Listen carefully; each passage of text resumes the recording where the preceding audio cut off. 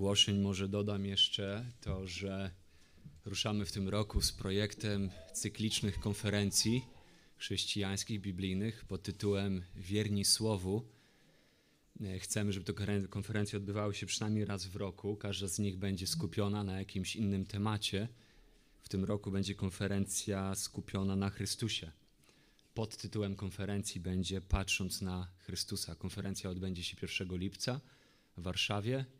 To jest sobota od wczesnego rana do późnego wieczoru. E, są też informacje na internecie, jest strona www.wiernisłowu.pl. E, są też informacje na mediach społecznościowych. Jeżeli byście chcieli się z nimi zapoznać, a też je udostępniać, to to pomoże w zasięgach tych informacji e, w internecie, żeby ona docierała do jak najwięcej osób, które mogłyby być taką konferencją zainteresowane. Także zachęcam do sprawdzenia tych informacji w sieci i też zaangażowania się w ich udostępnianie, żeby to mogło pomóc w zasięgach.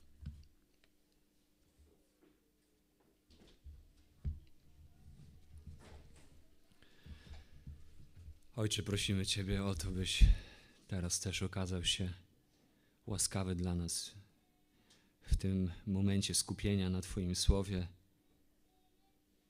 żebyś przekonywał nasze serca o prawdzie, aby się w tej prawdzie utwierdzał, umacniał, przypominał, cokolwiek, co jest nam potrzebne, abyś Ty to czynił w nas.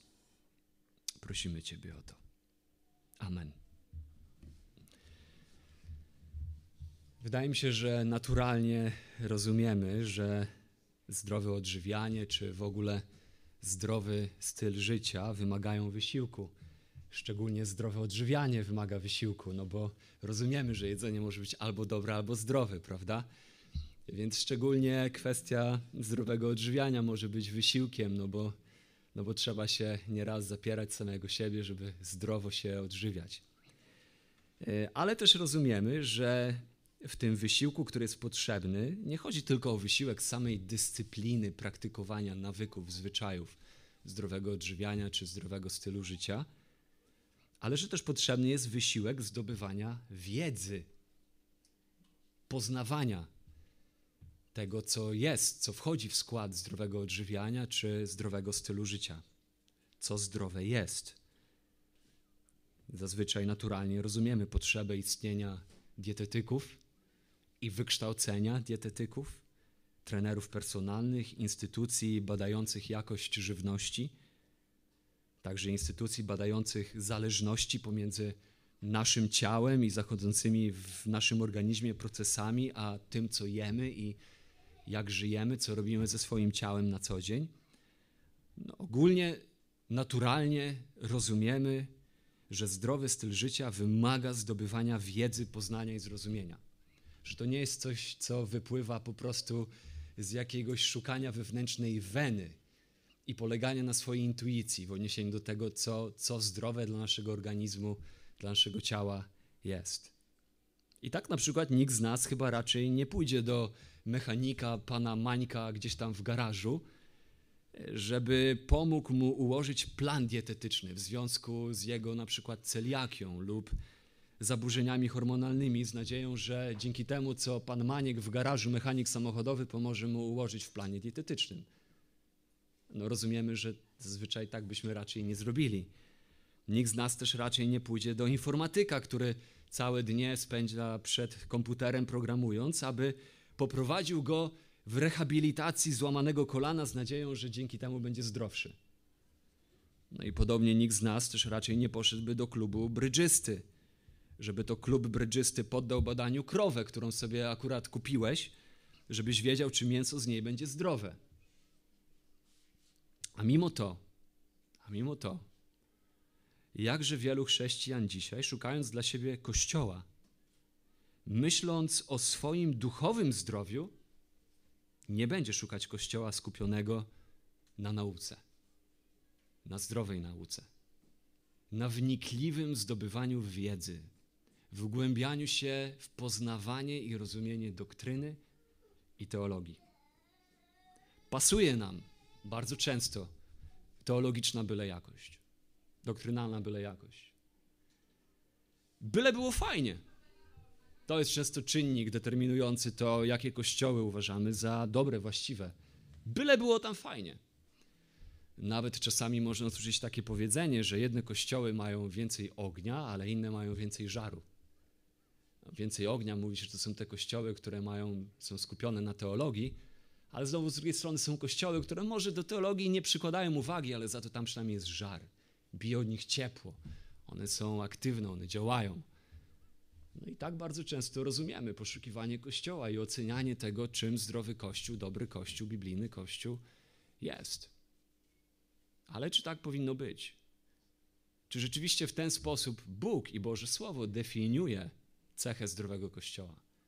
Czy zdrowy Kościół to jest po prostu ten, który ma żar i nie musi przykładać uwagi do doktryny, do teologii? Więc dzisiaj spojrzymy na kolejną cechę dobrego, zdrowego Kościoła. Jest to ostatnia cecha, na którą spojrzymy, można powiedzieć, z kategorii treści tego, czego Kościół naucza. Powiedzieliśmy o tym, jak zdrowy Kościół powinien głosić słowo, jak zdrowy Kościół powinien tego słowa słuchać, a dzisiaj spojrzymy na zdrową naukę jako cechę dobrego, zdrowego, biblijnego Kościoła. Zdrowa nauka jako niekwestionowana cecha zdrowego, biblijnego Kościoła.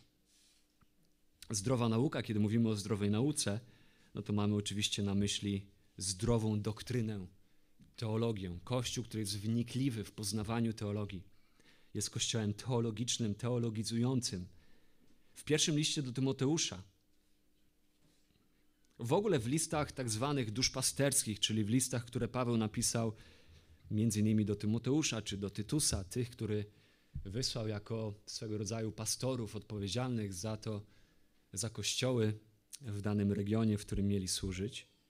W pierwszym Tymoteusza, w czwartym rozdziale, w szóstym wersecie Paweł pisze Ty, Tymoteuszu, gdy tego będziesz braci nauczał, w kontekście chodzi o biblijne rzeczy, chodzi o naukę apostolską, będziesz dobrym sługą, Chrystusa Jezusa, wykarmionym na słowach wiary i dobrej nauki, za którą poszedłeś. Innymi słowy, Tymoteuszu, jeżeli ty masz być dobrym sługą Chrystusa Jezusa, to musisz być tym, który jest wykarmiony na słowach wiary i dobrej nauki.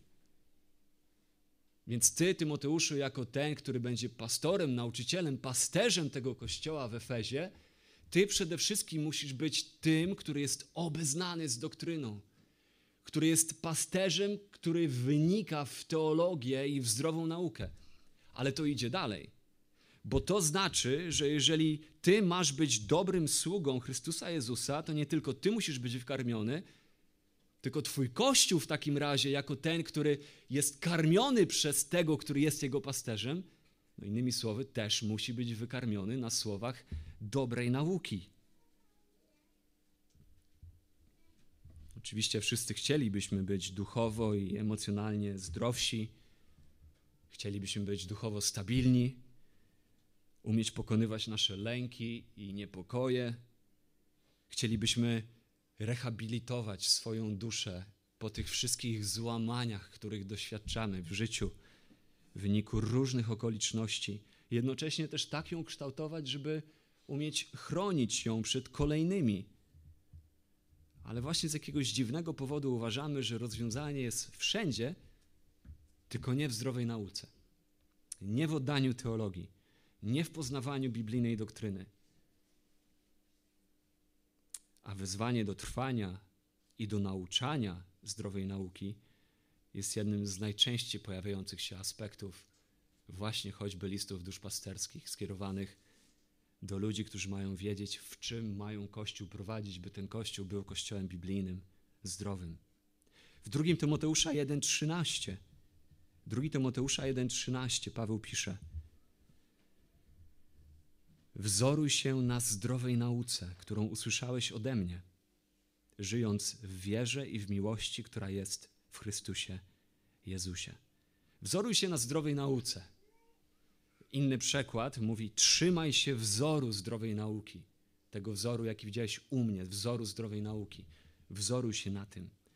Wzoruj się na tym, jak ja nauczam. Wzoruj się na tym, czego ja nauczyłem Ciebie, Tymoteuszu. Zdrowej nauki. Tytusa wzywa Paweł w drugim rozdziale listu do Tytusa, w pierwszym wersecie. Kyle głosił już na ten temat. Ale ty mów, Tytusie, te rzeczy, które odpowiadają zdrowej nauce. A w szóstym wersecie drugiego rozdziału mówi: We wszystkim stawiaj siebie za wzór dobrego sprawowania przez niesfałszowane nauczanie i prawość. Oczywiście widzimy tutaj dwie strony życia pasterza. Widzimy jego pobożność, ona jest opisana tam w Tymoteusza, drugim Tymoteusza 1,13. I tutaj u Tytusa widzimy to samo, widzimy prawość, która musi mieć miejsce, ale nie da się przegapić tego podkreślenia istoty trwania w zdrowej nauce, w wnikliwości w poznawanie prawd doktrynalnych, biblijnych. Bez wątpienia Kościół miał być miejscem nauki. Kościół miał być miejscem, w którym my uczymy się, zdobywamy wiedzę, zdobywamy poznanie. Kościół zawsze miał być miejscem studiowania Bożego Słowa, doktryny. Oczywiście nie byle jakiej doktryny, nie byle jakiej nauki, ale jak tutaj mówi Biblia, zdrowej nauki, zdrowej doktryny. Tej, której wzór i której treść zostały nam przekazane przez apostołów. I tutaj nie przez przypadek autor używa słowa zdrowa nauka, słowa, które w języku greckim oznacza dokładnie to. Oznacza coś, co jest zdrowe, coś, co jest higieniczne, co jest czyste, co jest pożyteczne dla naszego zdrowia. To jest zresztą to, co Kościół robił od samego początku swoich narodzin. Dzieje apostolskie, drugi rozdział, 42 werset. Kiedy to w wyniku głoszenia Ewangelii przez Piotra, trzy tysiące dusz się nawraca i od razu w następnym wersecie czytamy o życiu tego kościoła. Czemu oni byli oddani? I czytamy i trwali w nauce apostolskiej. Trwali w nauce apostolskiej. I kiedy myślimy o tym, czym ta nauka apostolska była, to nie były jakieś tam, nie wiem, podstawowe prawdy o tym, że Jezus za nich umarł, teraz ich grzechy są przebaczone, a teraz hej ho, hej ho, przez życie by się szło, już tam nic mi nie jest potrzebne, byle w sercu mieć szczerość, byle czegoś doświadczać i jakoś tam to wszystko się ułoży. Nie, bo kiedy czytamy dalej w dziejach apostolskich, chociażby słowa Pawła skierowane do pastorów kościoła w Efezie, dzieje apostolskie 20-27, tam Paweł żegnając się ze starszymi kościoła w Efezie, przypomina im, czy jakby uzmysławia im właśnie wzór, który on sam zostawił im, kiedy był pośród nich, mówiąc: Nie uchylałem się bowiem od zwiastowania wam całej woli Bożej, inaczej całego zamysłu Bożego, całej nauki Bożej, nie uchylałem się, by zwiastować ją. Nie było takich aspektów tego, o czym Bóg mówi i co Bóg chce, by Boży ludzie wiedzieli, co ja pomijałem, bo uważałem, że to to będzie zbyt teoretyczne, to nie będzie praktyczne, to ludzi zanudzi, to jest tylko dla teologów. Paweł mówi: Nie, ja nie pomijałem niczego, zwiastowałem wam cały zamysł Boży.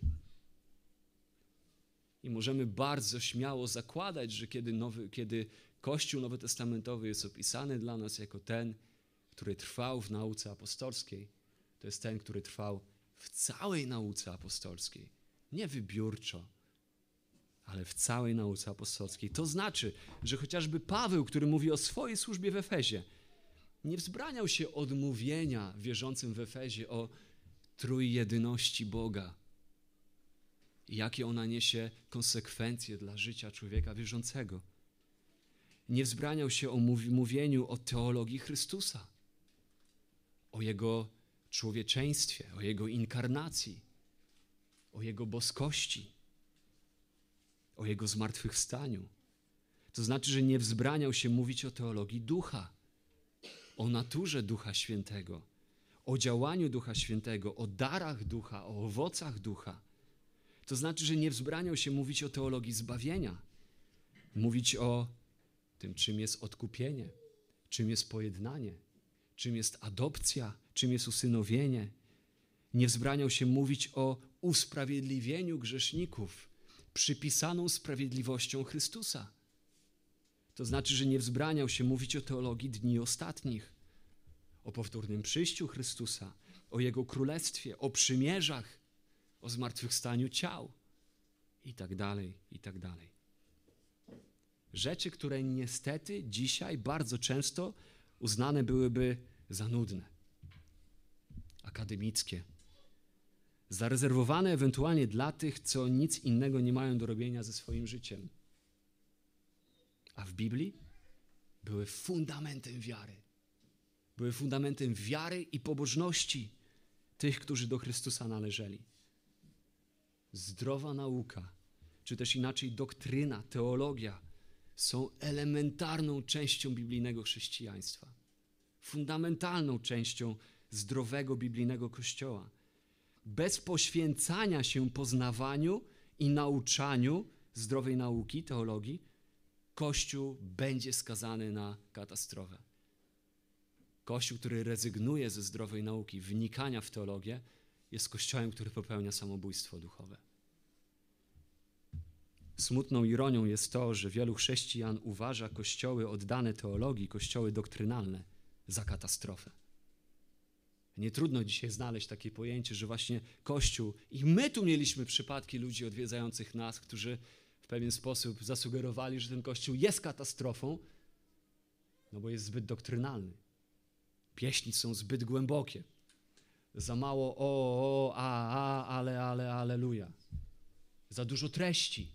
Jest zbyt teologiczny, zbyt trudny, zbyt wymagający. podczas gdy katastrofą jest Kościół, który z tych rzeczy rezygnuje. I nierzadko dziś słyszy się wołanie o chrześcijaństwo bez doktryny. I często argumentuje się, że chrześcijaństwo to życie.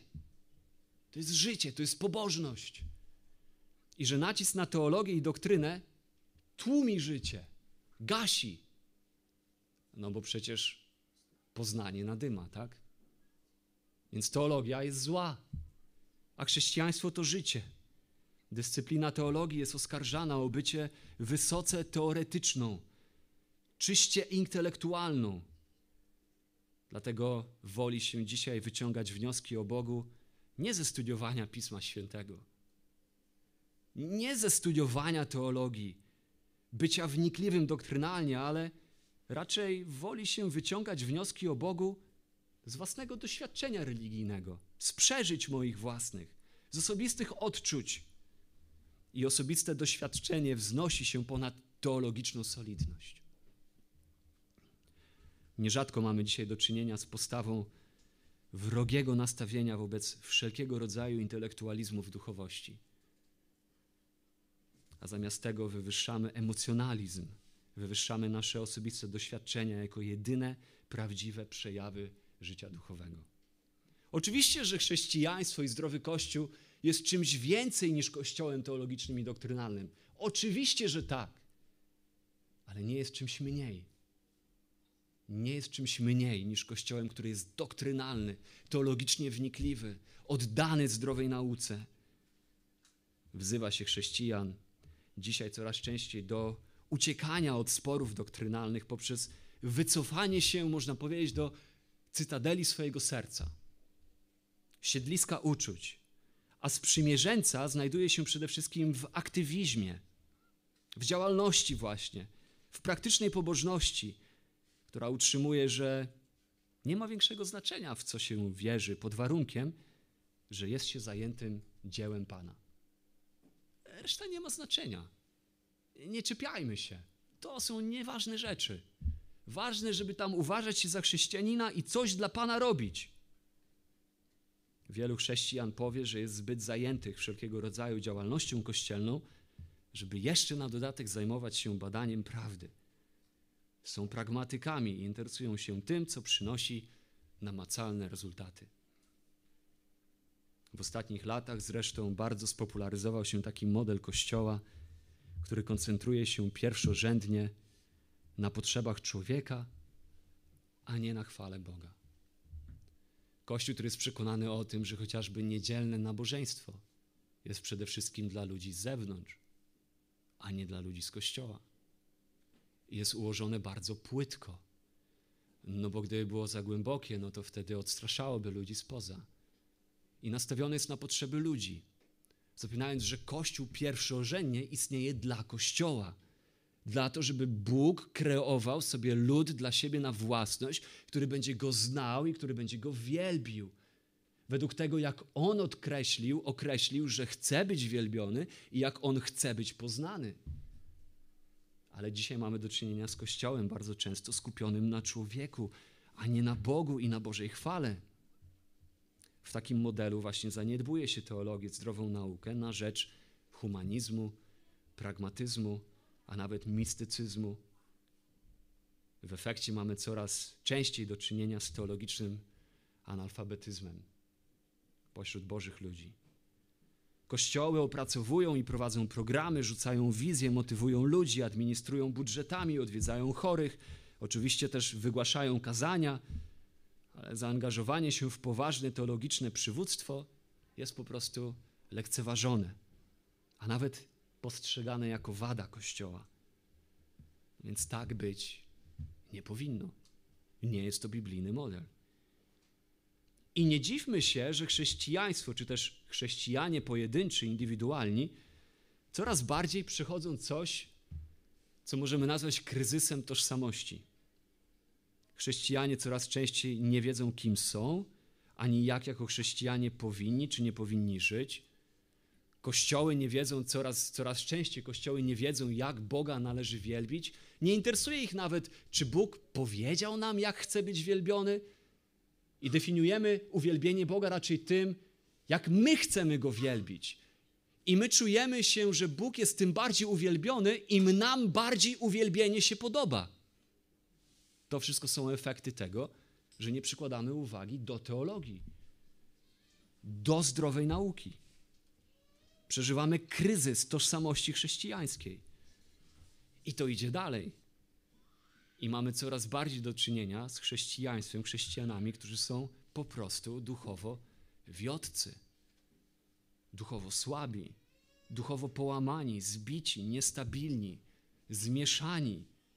Płyną jak takie patyki pozostawione na wodzie, niesione nurtem rzeki i nigdy nie wiadomo, w jakim dziwnym miejscu skończą, w jakie dziwne miejsce popłyną. I nie trudno zaobserwować, że ludzie, kościoły, które uważają za wadę teologiczną wnikliwość, po upływie czasu odpływają w bardzo dziwne miejsca, a także i ludzie w tych kościołach. Jednym z powodów takiego stanu rzeczy jest właśnie porzucenie oddania zdrowej nauce, lub inaczej porzucenie zabiegania o właściwą teologię, doktrynę. I w drugim Tymoteusza, w czwartym rozdziale, wersety 3-4, czytamy ostrzeżenie Pawła, kiedy on zostawia Tymoteusza w Efezie, pisze do niego swój ostatni list u schyłku jego życia i nie koloryzuje służby pastorskiej. Mówi Tymoteuszowi, że idą trudne czasy.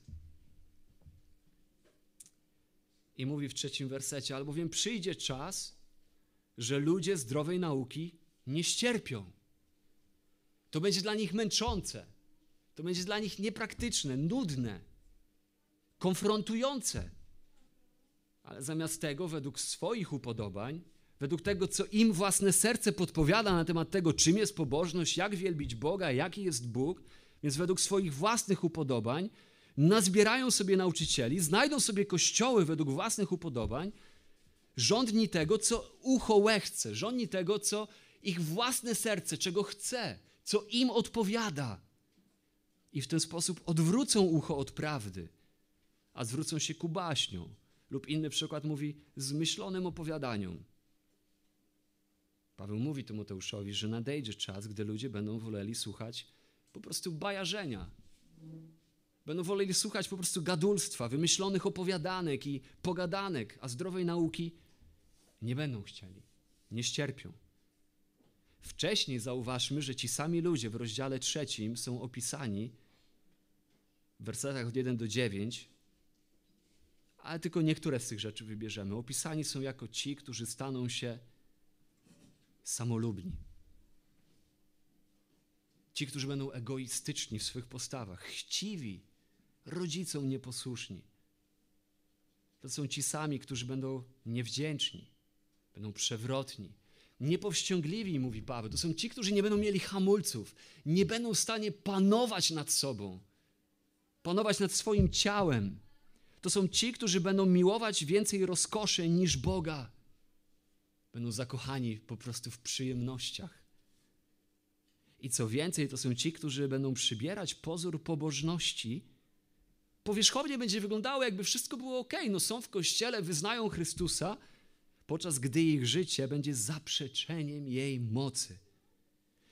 I w końcu Paweł pisze, że to będą ci, którzy nie będą wytrzymywać próby wiary. To są ci sami, którzy nie będą chcieli zwrócić ucha do zdrowej nauki, którzy będą woleli słuchać tego, co ich uszom po prostu się podoba, co jest miłe i spójne z ich własnymi pragnieniami. Kościół niechętny, a tym bardziej alergiczny na teologię, będzie kościołem niezdrowym i będzie produkował, generował niezdrowych chrześcijan. Postawa niechęci do teologii, do zdrowej nauki prowadzić będzie do kondycji życia, które nie potrafi nad sobą panować, jest niewdzięczne, jest roszczeniowe. Będzie prowadzić do kondycji życia, które jest zagubione, zmieszane, które będzie przybierać pobory, pozory pobożności, lecz nie będzie tam mocy i nie wytrzyma próby wiary. Nie wytrzyma próby wiary.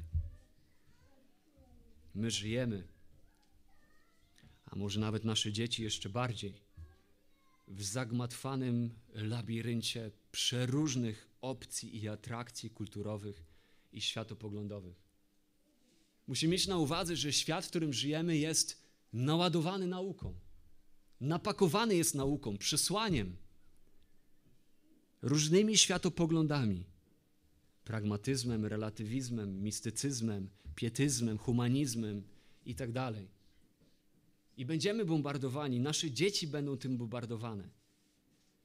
Ale kiedy my do tego, do tego równania życia w tym labiryncie przeróżnych opcji i atrakcji kulturowych jeszcze dorzucimy do tego malejące zainteresowanie Słowem Bożym, i rosnące przekonanie o poleganiu przede wszystkim na wewnętrznym głosie serca w podejmowaniu decyzji i definiowaniu wartości, no to mamy przepis na duchową katastrofę Kościoła i kolejnego pokolenia naszych dzieci. Bo skonfrontowane z doktrynami tego świata, czego nie unikną, świat będzie indoktrynował nasze dzieci, a także i nas. A my w tych doktrynach, które są najpiękniejsze, najważniejsze, najwspanialsze, najbardziej przemieniające życie, będziemy mieli postawę, że to nie jest istotne, wystarczy szczerość serca. To jest przepis na duchową katastrofę.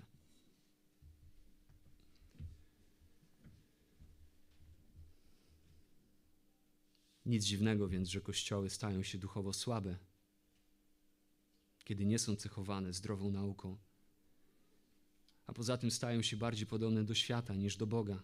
W zasadzie stają się bardziej pogańskie niż chrześcijańskie. I nie trudno dzisiaj to zaobserwować. Więc cechą zdrowego kościoła, biblijnego dobrego kościoła jest zdrowa nauka. Jest biblijna teologia. Zabieganie o to, by trwać w nauce apostolskiej. Czym jest zdrowa nauka? Czym jest teologia? Teologia, najprościej mówiąc, jest nauką o Bogu. A mówiąc dokładniej, jeżeli chcemy definicję teologii, to teologia chrześcijańska to stały wysiłek poznawania charakteru, woli i czynów trójjedynego Boga, tak jak objawił je i zinterpretował dla swojego ludu w Piśmie Świętym. Jeszcze raz. Teologia chrześcijańska to stały wysiłek poznawania charakteru, woli i czynów trójjedynego Boga, tak jak je objawił i zinterpretował dla swojego ludu w Piśmie Świętym. Abyśmy mogli poznać Go, nauczyć myśleć się Jego myślami i żyć w Jego świecie, na Jego warunkach. To jest definicja teologii. Teologia chrześcijańska to jest postawa, która uznaje Boga za wieczne, niezmienne centrum życia. Słowo Boże uznaje za źródło, a pobożność za cel. Studiowanie i poznawanie teologii, czy dbanie o zdrową doktrynę, to inaczej wyprawa na poznawanie i poszukiwanie Boga, aby móc w rezultacie odpowiednio Go wysławiać, uwielbić. Teologia nieuchronnie będzie prowadzić do uwielbienia Boga i do błogosławionego życia.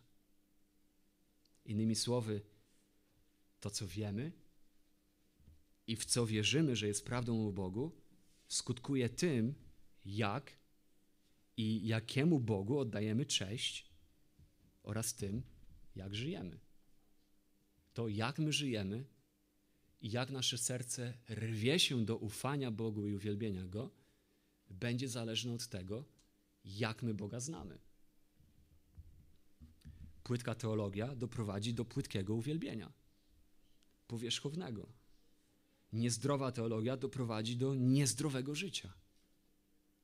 Ale właściwe zaangażowanie w poznanie Boga, tak jak objawił się w Piśmie Świętym, będzie powodować, że nasze własne życie będzie ogromnie pobłogosławione miłością, nadzieją, wiarą, którymi to Bóg obdarza tych, którzy Go znają, którzy wiedzą, kim On jest, którzy kształtują swoje serca według Jego objawienia, swoje przekonania, przekonania swoich serc, kształtując tym, co o Nim wiemy, a tym samym umożliwi nam bycie błogosławieństwem dla innych.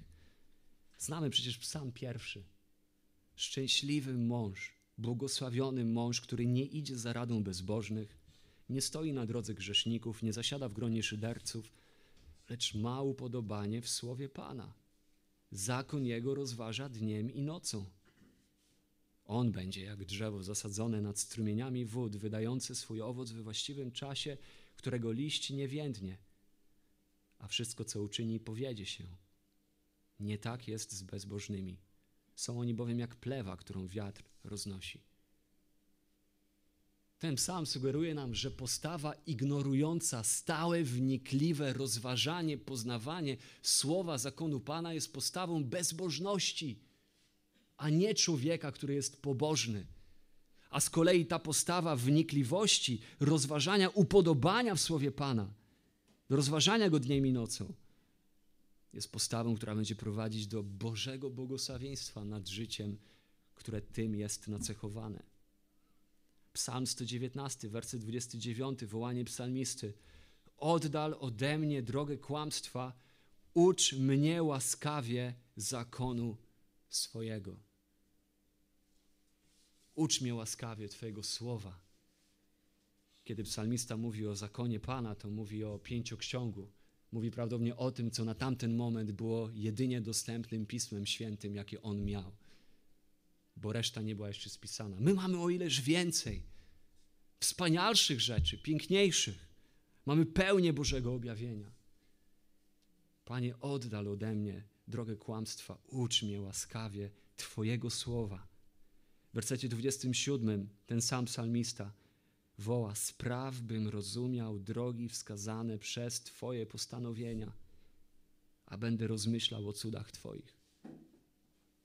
Innymi słowy, psalmista mówi: Panie, ja chcę rozumieć Twoje cuda, chcę widzieć Twoje cuda. Więc naucz mnie rozumieć Twoje postanowienia. W psalmie postanowienia to jest jeden z synonimów, jakiego on używa, na zakon Pana, na słowo Pana. Twoje postanowienia, Twoje wyroki, Twoje świadectwa, Twój zakon to wszystko są synonimy, których on używa w odniesieniu do Bożego Słowa. Innymi słowy, chcesz widzieć Boże cuda? Chcesz podziwiać Boże cuda? nie szukaj spektakularnych rzeczy, uzdrowień, fajerwerków. Szukaj Bożego Słowa, mówi psalmista. Chcesz rozumieć cuda Boże?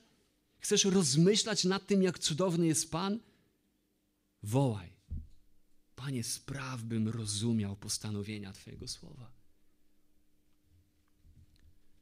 Ludzie w istocie są głodni wielkości Boga. To jest coś, czego nie jesteśmy w stanie wyprzeć. My jesteśmy wielbicielami, czy chcemy, czy nie. Nie ma ludzi, którzy by czegoś nie wielbili. My jesteśmy głodni wielkości, czegoś większego niż my sami. Nawet ateiści, którzy wypierają się Boga, pokazują swój głód zobaczenia, znalezienia czegoś, co jest większe niż oni sami. Dlatego nie przez przypadek bardzo często wypowiadają się o czymś, co nazywają matką naturą. Bardzo często mówią o wyższej cywilizacji, która ewentualnie przybyła gdzieś tam z innej planety i przyniosła życie, zaszczepiła życie na Ziemi. I o tym mówią prominentni ateiści. Richard Dawkins mówił o tym, że on jest gotowy przyjąć to, że gdzieś tam jakaś inna cywilizacja, większa od nas, przyniosła życie na Ziemię. My jesteśmy głodni wielkości, wielkości Boga. Problem w tym, że większość z nas nie postawiłaby takiej diagnozy swojego niezaspokojonego serca. My stawiamy inną diagnozę. Myślimy, że rozwiązanie jest gdzie indziej. A to, czego ludzie naprawdę potrzebują w swoim życiu, to Bóg. Bóg jego, w Jego majestacie, w Jego chwale. A zadaniem zdrowego Kościoła jest pomagać ludziom przywracać tron i panowanie Boga w duszach ludzi. Między innymi poprzez zaangażowanie tego Kościoła w poznawanie Boga i prowadzenie ludzi do zrozumienia Jego wielkości objawionej przez Niego w Jego Słowie. Pomyślmy przez chwilę o Ezdraszu, wielkim przywódcy Izraela po powrocie z wygnania. Czytamy o Ezdraszu takie słowa, Ezdrasza, siódmy rozdział, wersety 9 i 10. Ezdrasza 7, 9 do 10. Dobra ręka Boga spoczywała na nim, bo. Dlaczego? Bo Ezdrasz postanowił studiować prawo pańskie, wypełniać je i nauczać jego praw i ustaw w Izraelu. Postanowił. Tam jest ciekawy zwrot w języku hebrajskim wskazujący na serce Ezdrasza. Jest to zwrot, który mówi o tym, że serce Ezdrasza było skoncentrowane, było skupione na studiowaniu słowa. Ideą użytego tutaj wyrażenia hebrajskiego jest to, że Ezdrasz był mocno zaangażowany w określony sposób działania z niezachwianą determinacją, ustalonym celem i niezachwianą ambicją czego? Poznawania słowa. Jego wszechogarniającą pasją było przede wszystkim studiowanie Bożego Słowa. Był zdecydowany dokładnie badać dostępne mu pisma, pytać o nie, uczyć się ich, badać. Musimy, możemy przyjąć śmiało, że psalm pierwszy był prawdziwy o Ezdraszu. Dobra ręka Boga spoczywała na nim. Pan przemówił przez Jeremiasza, mówiąc: Księga Jeremiasza, 9 rozdział, wersety 23-24. Tak mówi Pan. Mędrzec niech się nie chlubi swoją mądrością. Mocarz niech się nie chlubi swoją mocą. Bogacz niech się nie chlubi swym bogactwem. Lecz kto się chlubi, niech się chlubi tym, że jest rozumny i wie, że ja jestem Panem. Albo inny przykład, i zna mnie jako Pana. w liście Pawła do Kolosan. Paweł najpierw dziękuje Bogu w pierwszym rozdziale za ich wysłuchanie i zrozumienie prawdy o łasce Bożej, a następnie zaczyna się modlić o nich od wersetu dziewiątego, o wierzących w Kolosach, aby byli napełnieni poznaniem Jego woli we wszelkiej duchowej mądrości i zrozumieniu, aby mogli postępować w sposób godny Pana i całkowicie Mu się podobać. W zrozumieniu Pawła bycie wypełnionym znajomością woli Bożej oraz duchową mądrością i zrozumieniem jest niezbędne do chodzenia w sposób godny Pana. Widzimy to w tym fragmencie, tak? By byli napełnieni poznaniem Jego woli we wszelkiej duchowej mądrości i zrozumieniu, żeby w ten sposób mogli postępować w sposób godny Pana. Chrześcijanin nigdy nie może odrzucić teologicznego poznawania Boga, zdrowej nauki, nigdy nie wolno mu odrzucać teologii, bo to jest bardzo praktyczna rzecz. to właśnie poznanie Boga w wszelkim zrozumieniu jest tym, co będzie prowadzić do życia godnego Pana, które podoba się Jemu. Zbycie uczniem zdrowej nauki o Bogu, bycie teologiem, nie jest rzeczą opcjonalną dla uczniów Chrystusa, czy też dla Kościoła, jest rzeczą konieczną. Jest rzeczą konieczną. Obowiązkiem każdego Kościoła chrześcijańskiego jest dbać o biblijną teologię. Zaangażowanie w teologię nie jest przeszkodą w życiu i zdrowiu Kościoła. Zaangażowanie w teologię, w zdrową naukę jest raczej gruntem, na którym Kościół stoi, z którego wszystko inne z życia tego Kościoła będzie wypływać. Teologicznie płytkie i ignoranckie kościoły w całym swoim życiu, w nauczaniu, w tym, co śpiewają, w modlitwach, które są wypowiadane i praktykowane, kiedy Kościół jest prowadzony wspólnie, będą generować teologicznie płytkich i duchowo słabych chrześcijan. Więc teologia, zdrowa nauka, wiedza o Bogu jest tym, co jest konieczne, aby prowadzić Boży lud do głębszej miłości Boga, do miłości do Jego Kościoła, do głębszej miłości do zgubionych i do większej miłości do posłuszeństwa. Oczywiście my rozumiemy, że to nigdy nie dzieje się w odłączeniu od działania Ducha Świętego, ale musimy pamiętać, że Duch Święty nie działa w odłączeniu od prawdy. Duch Święty nie działa bez prawdy. Prawda jest nadrzędnym instrumentem działania Ducha Świętego. Przesłanie jest takie, że teologia nie jest opcjonalna dla Kościoła i nie powinna być traktowana jako taka. Kończąc, w tym miejscu warto podjąć też alarm w odniesieniu do teologii. Zdrowa nauka, biblijna teologia, doktryna są bezużyteczne, jeśli nie towarzyszy im pobożne życie. Wiedza dla wiedzy nadyma człowieka. Zaiste, 1 Koryntian, 8 rozdział, pierwszy werset.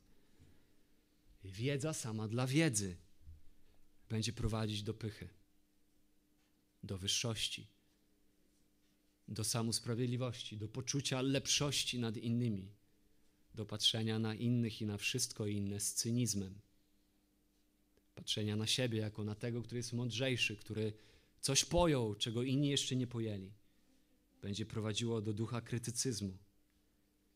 I nie możemy pozwolić, aby nasza właściwa teologia uczyniła nas dumnymi z naszej właściwej teologii lub uczyniła nas nieuprzejmymi i pozbawionymi miłości i łaski wobec innych, ponieważ wtedy byłoby to sprzeczne z teologią, którą, jak twierdzimy, cenimy.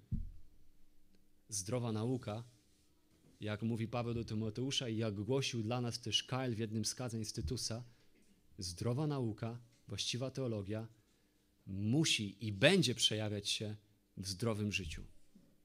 Innymi słowy, jeżeli ta teologia, której my się uczymy, nie prowadzi do zdrowego życia, to możemy śmiało powiedzieć, że nie jest zdrową nauką i nie jest zdrową teologią.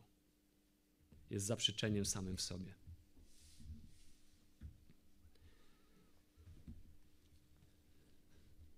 Żeby może jeszcze pokazać Wam przykład, jak to dzisiaj w świecie jest, czytałem kiedyś artykuł, którego celem było pomóc czytelnikom zidentyfikować ich preferencje w odniesieniu do tego, jaki jest ich ulubiony model pastorstwa, by w ten sposób mogli ocenić, w jakich kościołach byłoby im najlepiej, najprzyjemniej, najwygodniej. Był to artykuł, który miał im pomóc zidentyfikować w pewnym sensie ich preferencje, żeby mogli w, w świetle tych preferencji znaleźć dla siebie właściwy kościół. No i są opisane różne kategorie pastorów, ale możemy to przełożyć na tak naprawdę na kategorie kościołów. Jednym z nich jest pastor dr Phil. Dr Phil to jest taki bardzo znany już obecnie zdjęty z anteny e, program w Stanach e, o bardzo znanym psychologu, który prowadził talk show na temat, no właśnie, psychologii, jakiejś tam terapii, samoterapii i tego typu rzeczy. Więc pastor dr Phil, Ktoś, przed kim możesz wylać swoje troski i w zamian otrzymać darmową, przemieniającą życie terapię. Nie musisz obawiać się, że kiedykolwiek napomni cię za twój grzech, że cokolwiek skrytykuje, że będzie teoretyczny, ale zawsze cię wysłucha i zawsze cię naprawi. Albo pastor Dumbledore, czyli pastor czarodziej, albo kościół czarodziej. Za każdym razem, gdy wpadasz w tarapaty, stary dobry Dumbledore wysyła ci na ratunek latający paznokieć lub płonący szal, które w magiczny sposób rozwiązują twoje problemy. Albo pastor Adam Sandler, może niektórzy kojarzymy, taki komediowy aktor, czyli pastor kumpel. Pastor kumpel, ktoś z kim możesz spędzić czas jak z najlepszym kumplem, jest zawsze zabawny i miły, może na dodatek gra na gitarze basowej i jeździ motocyklem. Pastor Steve Jobs, inaczej pastor prezes. Ten, który podejmuje szybkie i mądre decyzje, jest innowacyjny, inspirujący, popularny i zapewnia wspaniałą wizję. Albo na koniec pastor inspektor gadżet. Zawsze jest pod ręką. Dostępny na każde zawołanie, by odpowiedzieć na zadawane pytania, zaproponować rozwiązanie problemu, czy też po prostu dla zabicia czasu. I niestety ten artykuł pokazuje właśnie tą smutną rzeczywistość, w jakiej przyszło nam żyć w XXI wieku. To, jakich pastorów, a de facto jakich kościołów oczekujemy, jest bardzo często zwierciadłem stanu naszego chrześcijaństwa, naszej duszy. I zobaczmy, że żaden z tych modeli nie ma kościoła, który po prostu uczy mnie prawdy na temat tego, jak wielki jest Bóg. Pochylmy głowy w modlitwie.